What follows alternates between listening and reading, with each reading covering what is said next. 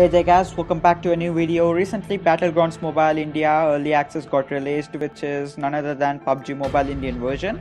After the release of the game, many people have started playing already but many of them lost their control layout and sensitivity due to loss of account or account transfer so here is the ultimate solution. You just need your global version of PUBG running with your original account or else this video is not for you. You can download global version and Indian version of PUBG from the link in the description you can use VPN and log in through PUBG Global and log into your original account. Now follow my steps. Go to your file manager and copy this PUBG Global files to your PUBG Indian version.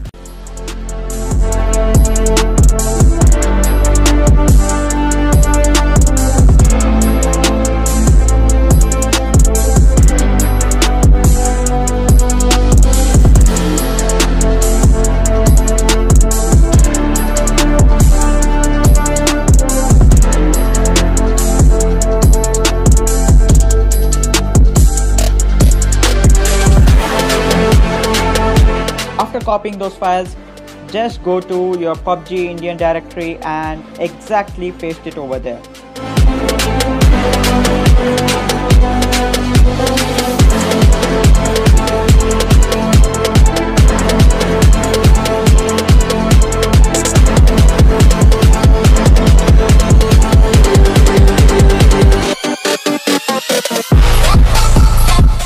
copying and pasting those files just open uh, PUBG Mobile Indian version and just check for yourself all your control layouts and sensitivity will be there.